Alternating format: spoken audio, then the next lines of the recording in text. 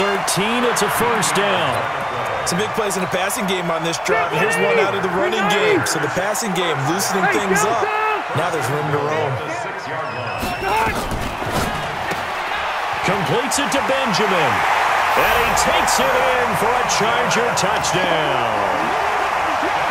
From six yards away. And they are able to strike first here on their opening drive. Extra point by Badgley up and good. And it's now a 7-0 game.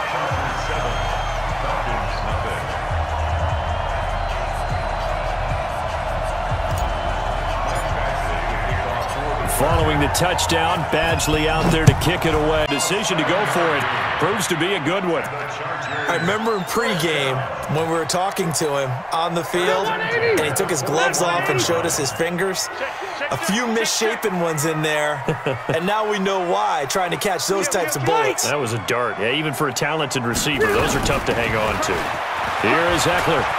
Oh, he's got some breathing room.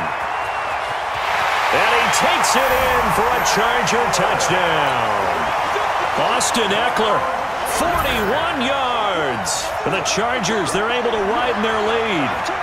Always important to get the first score of the second half. Now you start to pull away a little bit and get some breathing room going. And now we find out about the fortitude of the group that's behind because they were counting on getting into the game a little bit more, right? Maybe they get the first score.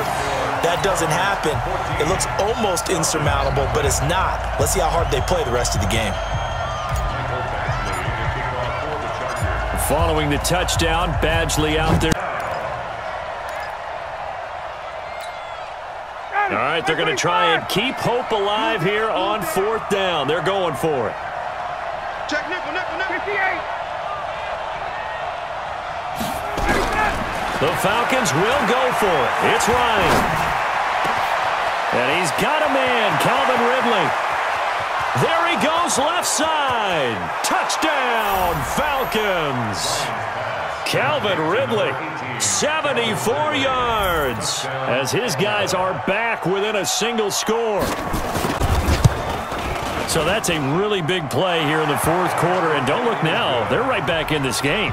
Did it feel to you, as it did to me, that maybe they were a little bit soft in what they were lining up with on defense? Almost like they were protecting the lead rather than trying to make a play. And now that lead is down to just one score. This fielded at the two.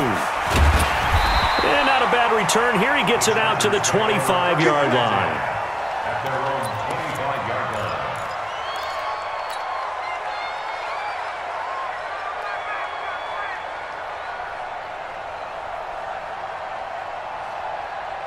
The Charger drive about to get going. Right now clinging to a one-score lead, Charles, and I think operating within that four-minute offense with a little less than four minutes to go applies here, right? It certainly does, and that means the playbook is still wide open. There goes Melvin Gordon.